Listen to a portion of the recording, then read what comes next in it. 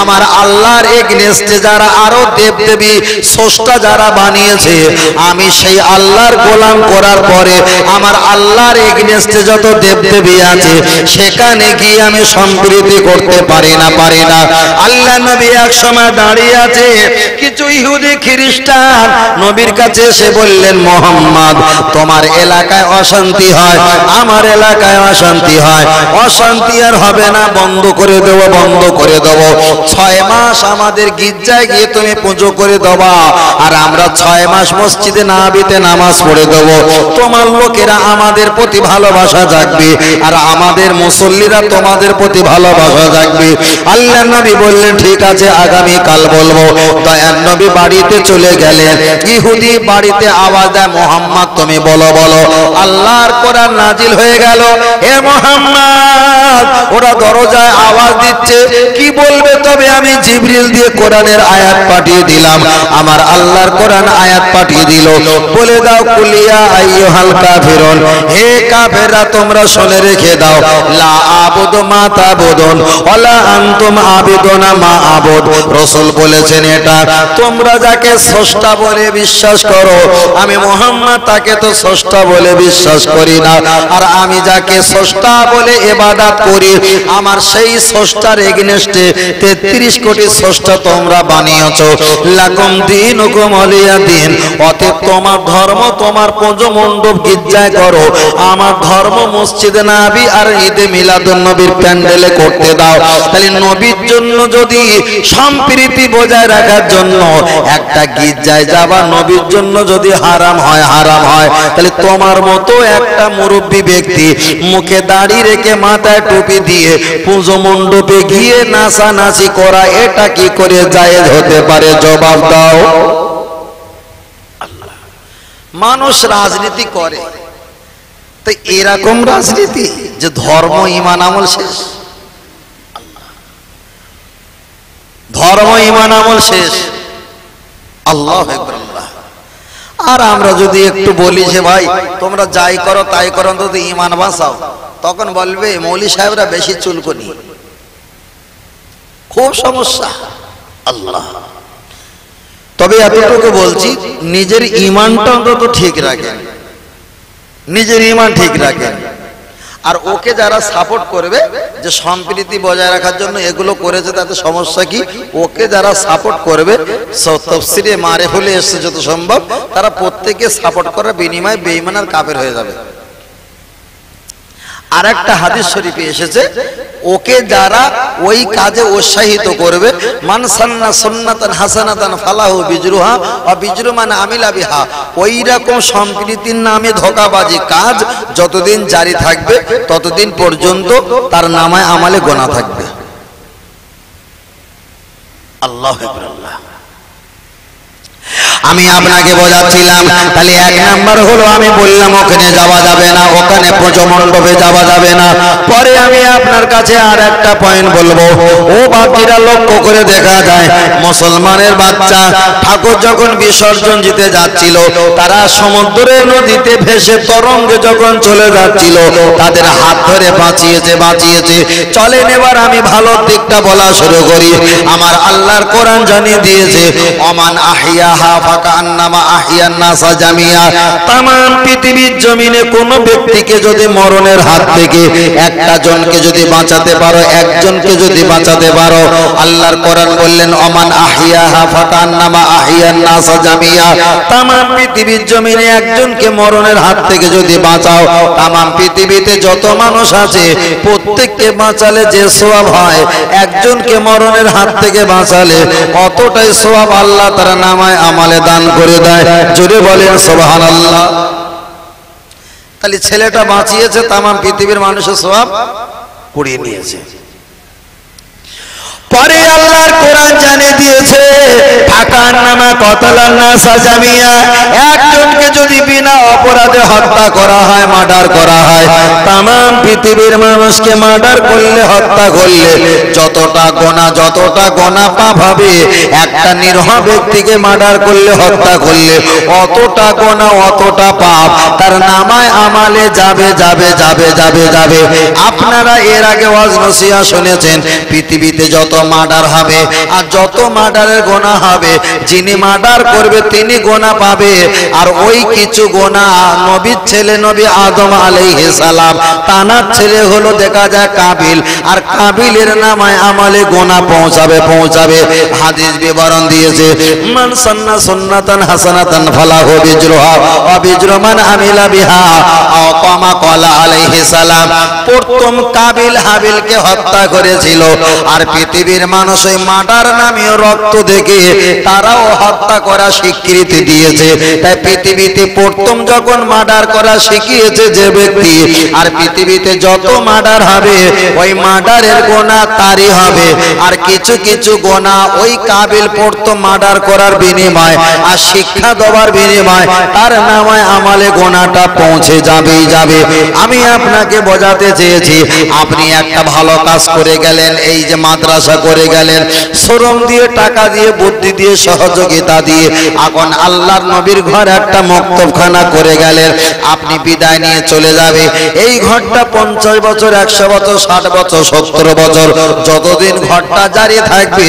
আর এখানে আরবি আমপারা কোরআন তেলাবাদ নবী পাকে শান সহকার যত তেলাবাদ হবে, আল্লাহ নবী বলেছে, ততদিন পর্যন্ত প্রথম যারা এই ঘরকে এই ঘরকে যারা সূচনা করেছিল তৈরি করেছিল। আমার আল্লাহ নামায় আমালে তাদের রুহ পাকে সোয়া পৌঁছে দেবে। জোরে বলেন সোভার আল্লাহ এই যে আপনারা নবী দিবসের মাহফিল করছে, এখন কোন ব্যক্তি হঠাৎ মারা গেল, তার হাতে যদি মাহফিলটা যদি সূচনা হয়ে থাকে, মারা যাবার পর যত তেলাওয়াত হবে, যত সোয়াব হবে যত তসবি তেলাওয়াত হবে, যে লোকটার বিনিময় এই জায়গাটা আপনি আর আমি পেয়েছি, তার নামায় আমলে অতটা সব যাবে। এমনকি আপনারা মসজিদে ফ্যান দিয়েছেন টালি টাইস পাথর সাবমার্সে যা কিছু দিয়েছেন। যতদিন ওটা মসজিদে ব্যবহার হবে মাইকে আজান দিয়ে মানুষ সেজদা করবে রুকু করবে উজু করবে ততদিন পর্যন্ত আপনি কবরে শুয়ে শুয়ে সোয়াব পেয়ে থাকবেন। বলো সুবহানাল্লাহ। এবারে আর একটা দিক আপনি একটা পুকুর নিয়েছেন পুকুরটা এখন সুদি কারবার ওই পুকুরটা এখন বিশ হাজার টাকা নিয়ে আপনি বন্ধকে নিয়েছেন। সে বেচারি ছাড়াতে পারল না। উনি মারা গেছে। আপনিও তাকে দিয়ে দিলেন না, আপনিও মারা গেছেন। আপনার পরিবারে যারা ছিল, তারা ওই পুকুরটা নিয়ে ব্যবহার করে। আর ওই যে ব্যক্তি মারা গেছে, তার নাতিরা, ও সব বিষয় কিছু বুঝলো না। ওই পুকুরের মাছ যতদিন খাবে, ওটা হারাম খাওয়া হবে। বসিরাট আল্লামা হুজুর ফতোয় আমিনিয়াতে বলেছে, কোন ব্যক্তি যদি হারাম জিনিস বিসমিল্লা বলে খায়, ওই ব্যক্তি ওই ব্যক্তিটা বেঈমান আর কাফের হয়ে যাবে। আর কোন ব্যক্তি যদি বলে যে এটা হারাম জিনিস, আমি বিসমিল্লা বলে খাব না। তথাপি হারাম খাবার বিনিময় চল্লিশ দিনের এবাদত নষ্ট হয়ে যাবে। তাহলে একটা হারাম টাকার পুকুর যদি আপনি রেখে যান, যতকাল ওই পুকুর থাকবে, ততকাল যারা খাবে, ওই পাপের ভাগ, গোনার ভাগ নামায় আপন আপনাকে যাবেই যাবে। ওই জন্য ছোট হুজুর পীর কেবলা রহমাতুল্লাহ আলাইহি বারবার একটা কথা বলতেন এমন জীবন তুমি করিবে গঠন, মরণে হাসিবে তুমি কাঁদিবে ভুবন।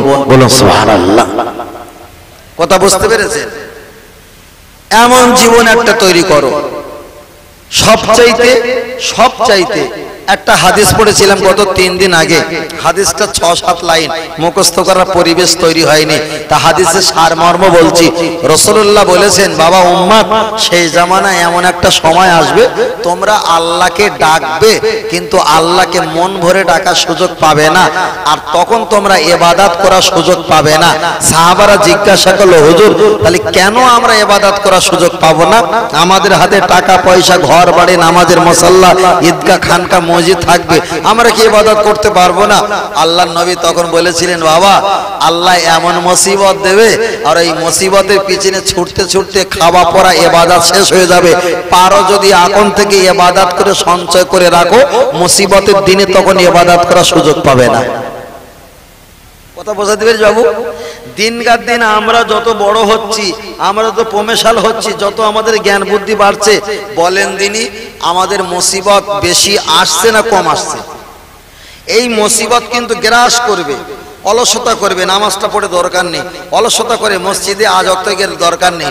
অলসতা করে মেয়ের বাড়ি এসছি, আজকে নামাজ পড়ে না, বাড়ি গিয়ে পড়ার নাম করে বার হয়ে যায় এই অলসতা, রসুল এটা বোঝাতে চেয়েছে, এমন একটা দুঃখ আর কাইকেলের চিন্তা তোমার পিছনে গ্রাস করবে, তুমি আর এবাদাত করার সুযোগ পাবে না। যদি পারো, এখন থেকে এবাদাত করে তুমি একটা বড় স্পুত বড় একটা জায়গা তৈরি করো। আল্লাহ আমাদের যেন ওই সুযোগটা করে দেন বলুন আল্লাহ আমিন। আর একটা সকলে বলি, আল্লাহ আমিন দরুদ শরীফ আল্লাহুম্মা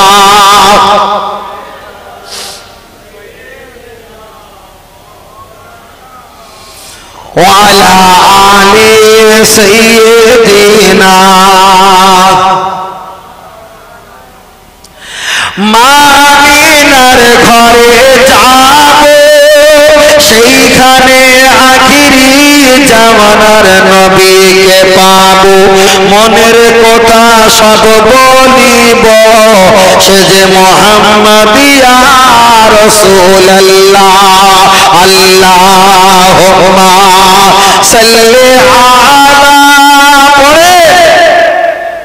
ছেলেরা সকলে চলে এসো বাবা। ওয়ালা আলে সৈয়দিনা तोहिद का डंका आलम में बजवा दिया कमली वाले ने। पी पी के पियाली कौसर के लौटेंगे मजाजी भर भर के। इन्ना तो इना कल कौसर फरमा দিয়া কামলি বলে দে বললা ইলাহা ইল্লাল্লাহ খুতরে লা ইলাহা ইল্লাল্লাহ। লা রসুল্লাহ আল্লাহ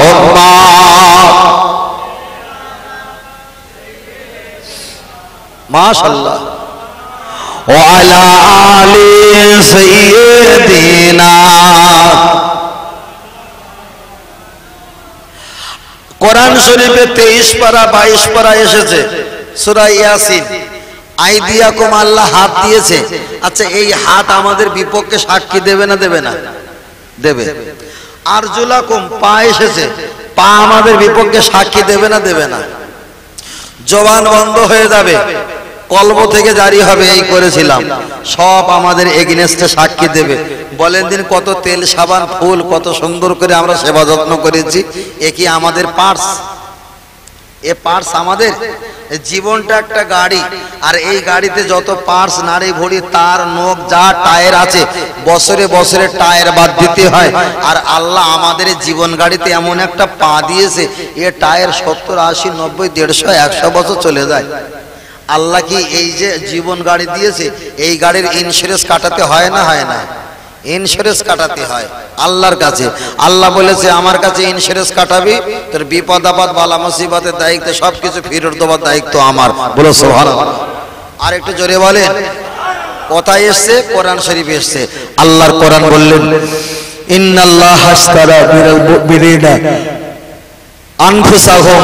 আমি তোমাদের কাছ থেকে কিনে নিয়েছি। কি কিনে নিয়েছো? তোমাদের জান আনফুসাহুম মানে জান আমওয়ালাহুম মানে সময় সম্পদ, টাকা পয়সা, অর্থ কিনে নিয়েছি। আল্লাহ আমাদের যা আছে সব কিনে নিয়েছে। আমরা হাত দিয়ে যা করব, আমাদের শরিয়াতে আমাদের ধর্মের উপকারের জন্য করব। ব্রেন দিয়ে যা চিন্তা করব, ধর্মের উপকারের জন্য করব। জবান দিয়ে যা বলব, ধর্মের কথা বলব।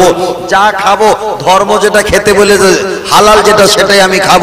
চলবো, আমার ধর্মের উপকারের জন্য আমি চলবো। আয় রোজগার, হালাল রুটি রুজি করব, এগুলো সব হালাল খাদ্য, এগুলো করব। তাহলে আল্লাহ যে গাড়িটা দিয়েছে ষাট সত্তর বছর যে আমরা চলছি এই গাড়িটা তো আল্লাহ একসময় শোরুমে টেনে নেবে। শোরুমে টানবে না শোরুমে অবশ্যই টেনে নেবে। এখন বলেন আল্লাহর যে আমাদের জান আমাদের মাল আল্লাহ আমাদের কাছ থেকে কিনে নিয়েছে। আল্লাহকে জিজ্ঞাসা করি আল্লাহ আপনি জান আর মাল কিনে নিয়েছেন? তাহলে আমরা কি টাকা পেলাম? টাকা পয়সা কি দিয়েছ? আল্লাহ বলছে, টাকা পয়সা আমি কিছু দিলাম না, তবে বি আন্না লাহুমুল জান্না আমি তোমাদের সব কিনে নিয়েছি, তোমরা যদি আমার কাছে বিক্রি করে দাও, তোমরা দুঃখ পেলেও আমার থেকে ডাকবে, সুখ পেলেও তোমরা আমাকে ডাকবে, বিপদ আপদ বালা মুসিবতে সবকিছু আমি আল্লাহ দেখব, আর আমি আল্লাহ বলে দিলাম, বি আন্না লাহুমুল জান্না আমি তোমাদের এই কিনে লবার বিনিময়ে জান্নাত দান করব, জোরে বলেন সুবহানাল্লাহ। আর একটু জোরে হবে না? একজনের হাতে প্যারালাইসিস হয়েছে। এ তো আল্লাহ দেওয়া পার্স। চেষ্টা করলাম, হলো না, অচাল হয়ে গেল। অচাল হয়ে গেল। আল্লাহ বলছে, যখন আমার পার্সটা যখন দিয়েছে, ক্ষয় হয়ে গেছে, সোজা যখন আর হলো না, ঠিক আছে, তোমার ওই হাত দিয়ে আর তোমার কোনো কাজ করার দরকারই নেই। পা কেটে গেছে, আমার দেওয়া জিনিস কেটে ক্ষয় হয়ে গেছে, ঠিক আছে, কোনো সমস্যা নেই, তোমার এবাদাত করতে কষ্ট, তুমি বসে বসে এবাদাত করো। তুমি বলছো, আমি হাত কেটে গেছে কিংবা পা কেটে গেছে, হঠাৎ করে যুদ্ধ বেঁধে গেছে, সেখানে না গেলে আমার ইমান পরীক্ষা বলে কিছু বলা যাচ্ছে না। কোরআন শরীফের আয়াতে এসছে, যারা খোঁড়া, তাদের জন্য যুদ্ধের মাঠে যাওয়া জায়েজ নয়। অনেক অফার, তুমি যখন বিপদে পড়বে, আল্লাহ তোমাকে একটা অফার দিয়ে দিচ্ছে তোমার কোনো সমস্যা নেই। ওই জন্য বারবার বলছি, সুখে দুঃখে সব সময় ডাকতে হবে কাকে? একমাত্র আমার আল্লাহকে। আল্লাহ আমার রব আল্লাহই আমাদের সব। জোরে বলেন সুবহানাল্লাহ। আরেকটা জোরে হবে না? এর ভিতরে যারা আছেন, অনেকে আমরা পাঁচ অক্ত নামাজ পড়ি না। অনেকে মুরব্বী যারা আছে, পাঁচ অক্ত নামাজ পড়ি। আমি বারবার একটা কথা বলছি বাবু, দেখেন নবী দিবসের মাহাবীর জলসা, হাজার কোরআনের আয়াত পড়ল মারে ভোরে বেলা সেইভাবে খাওয়া, সেইভাবে পরিবেশটা থাকে না। তবে আপনজন হিসাবে, খুব কাছের মানুষ হিসাবে, এতটুকু বলছি বাবু, আপনি যে ঘর তৈরি করেছেন না, এই ঘর কিন্তু আমাদের চিরস্থায়ী হবে না। আপনার হাতে যে ঘড়ি আছে, এই ঘড়ি কিন্তু আপনার ছেলে দখল করবে। আপনার কাছে যে বড় মোবাইল আছে, মোবাইলটা কিন্তু আপনার মেজে ভাই দখল করবে। আপনার ঘর, আপনার স্ত্রী যদি লেখা দেওয়া হয়, ওই স্ত্রী অন্য একটা স্বামী নিয়ে বসবাস করবে। আপনার ছেলে বিয়ে করে বসবাস করবে। আপনি যে দোকান চালাতেন, চলে যাওয়ার পর ওই দোকান মালিক আর একটা ব্যক্তিকে সালামি নিয়ে দোকানটা তাকে ডেলিভারি করে দেবে। আপনার বলে কিছু থাকবে না, শুধু একটাই থাকবে অল তোমাকে আমি ওমর দিয়েছিলাম বয়স দিয়েছিলাম। তুমি কোন কাজে ব্যয় করেছ? আল্লাহ দরবারে সেই দিন কোন পীর সাহেব, কোন পীরজাদা, কোন বক্তা, কোন হুজুর, কোন আলেম, কোন ইমাম, কোন খতিব আপনার হয়ে সে জবাব দেবে? না, আপনাকে নিজে নিজে জবাব দিতে হবে। নিজে নিজে জবাব দিতে হবে। ওই জন্য বলব বাবু, যারা একটু, আমরা একটু যারা বুঝি, যারা আমরা প্রত্যেক মানুষ বুঝি একটু চেষ্টা করবেন। সবচাইতে দামি খাদ্য হলো হালাল খাদ্য। হালাল খাদ্য খাবার চেষ্টা করবেন। আর বেশি বালা খানা আর বিলাসিতা করার প্রয়োজন নেই। হয়ে গেছে অলরেডি যখন তখন ডাক আসবে। যখন তখন ডাক আসবে। এই জগৎটা ছেড়ে একটু চলে যান না। পর জগৎটা বিশাল অসীম জায়গা, যার কোনো শেষ নেই। যার কোনো শেষ নেই। একজন আমাকে প্রশ্ন করেছিল, আমরা ইন্তেকাল করব, আল্লাহ কি আমাদেরকে ফের বানাবে? তা বহুত মানুষের প্রশ্ন করার পরে তারা নাকি একই কথা বলেছে যে আমরা মারা যাওয়ার পর আল্লাহ আর আমাদের সৃষ্টি করবে, পৃথিবীর সৃষ্টি করবে? না। কিন্তু কোরআন শরীফের একটা আয়াতের ব্যাখ্যা এসছে, আমাদের আগে সৃষ্টি করেছিল কাকে? জেন জাতিকে। জেন জাতি আল্লাহ নাফরমানি করেছিল তো? করেছিল। আর নাফরমানি যখন করেছে, আল্লাহ রেগে গিয়ে, আল্লাহ খামুশ খেয়ে রেগে গিয়ে কি করল? জেন জাতিকে ধুলিসাত করে দিয়ে আদম জাতিকে সৃষ্টি করেছে মানে আমাদের। তাহলে আল্লাহ যে এবাদাত নেবে বলেছে, জেন জাতিগুলো সেই এবাদাত দেয়নি। যেমন ইবলিস, ও তো জেনের বাচ্চা। ইবলিস তো জেনের বাচ্চা। ওদেরকে ধুলিসাত করেছিল, ওরা করেছিল। তাই ইবলিস এই জেনের, জেনেরকে আল্লাহ ধুলিসাত করেছিল কেন? ওরা আল্লাহর বিহামদিকা, রব্বিকা অনুকদ্দিসুলাক আল্লাহ শুকরিয়া যখন করবে বলেছিল, কিন্তু দুনিয়াতে এসে শুকরিয়া যখন করল না। আল্লাহ ধ্বংস করে দিয়ে নিয়ে এসছে কাদেরকে? আমার আপনার। আমরাও যদি আল্লাহ শুক্রিয়া আদায় না করি, এবাদাত না করি, আল্লাহর কাছে যদি পছন্দ মনোনীয়ত না হয় ফেল লিখে রাখেন, আল্লাহ আমাদের পরে নেক্সট টাইমে কোনো একটা জাতি বানিয়ে তার কাছ থেকে এবাদাত নিয়ে পৃথিবী চালাবে। বুঝেছেন? একদম কোরআন শরীফের ব্যাখ্যা। কেরান শরীফের ব্যাখ্যা এসছে, ঠিক এরকম ব্যাখ্যা। কেউ যদি বলে, আল্লাহর পৃথিবী সৃষ্টি করবে না, কোন জাতিকে আর সৃষ্টি করবে না, এটা চরম মূর্খমির পরিচয়। এর আগে তো জেন জাতিকে সৃষ্টি করেছিল। তারা করিনি, আমাদেরকে নিয়ে করাবে। আর আমরা যদি না করি, এটাও লিখে রাখো, আল্লাহ পরে কোনো একটা মানব বানাবে। হতে পারে তাদের দশ ট্যাং হতে পারে একটা ঠ্যাং, হতে পারে নাও ঠ্যাং, কোনো একটা জাতিকে বানাবে। আর সেই জাতিকে দিয়ে আল্লাহ তানার এবাদাতটা মুসল করে নেবে। ওই জন্য বলছি, কারোর জন্য পৃথিবী বেঁধে থাকবে না, কারোর জন্য কোনো সমস্যা হবে না। আপনি মারা গেলে আপনার এই চক্রাম খ্রিস্টপুরে কোনো সমস্যা হবে?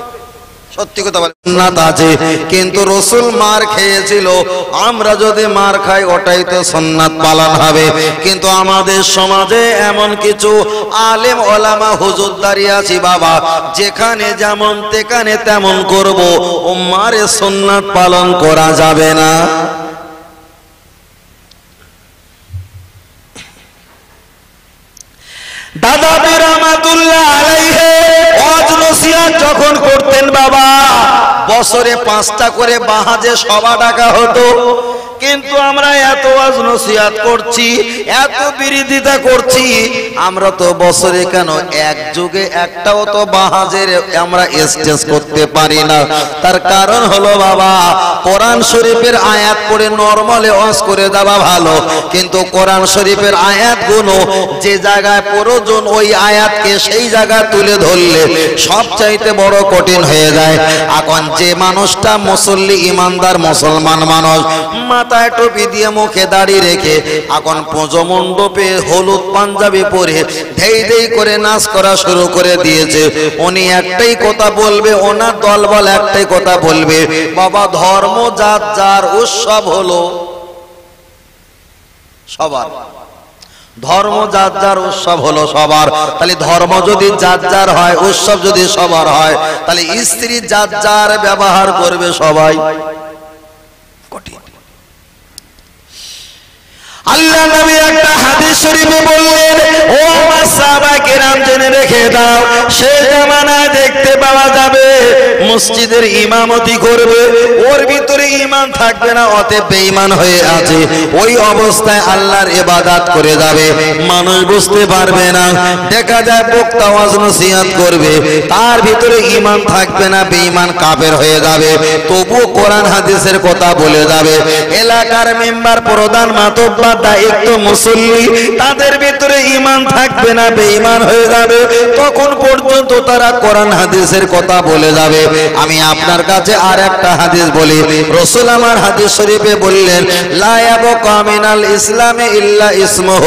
তাম পৃথিবীর মানুষের মুসলমান মুসলমান আওয়াজ হবে, কিন্তু ওদের ভিতরে ইমান থাকবে না ইমান থাকবে না। তাহলে দাড়ি দেখে, টুপি দেখে, এটাই যদি ইমান হয়, তাহলে আজ থেকে পনেরো দিন আগে পুজো মণ্ডপে ওরা হলুদ জামা পরেছে, ইনিও হলুদ জামা পরেছে।